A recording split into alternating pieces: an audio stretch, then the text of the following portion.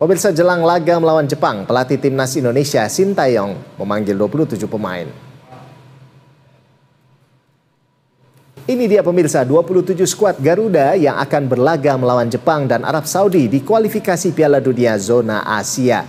Terdapat 14 pemain keturunan yang dipanggil oleh Sintayong untuk merebut poin di Stadion Utama Gelora Bung Karno. Skuad andalan STY ini diharapkan mampu mencuri poin demi menjaga asa Garuda tampil di Piala Dunia 2026.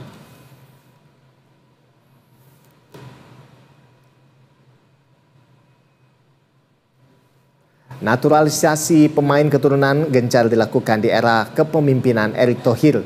Pasalnya PSSI menginginkan lompatan besar terjadi, khususnya di peringkat timnas Indonesia. PSSI menargetkan peringkat timnas Indonesia masuk dalam 100 besar FIFA. Oleh karena itu PSSI melakukan naturalisasi demi meningkatkan prestasi timnas Indonesia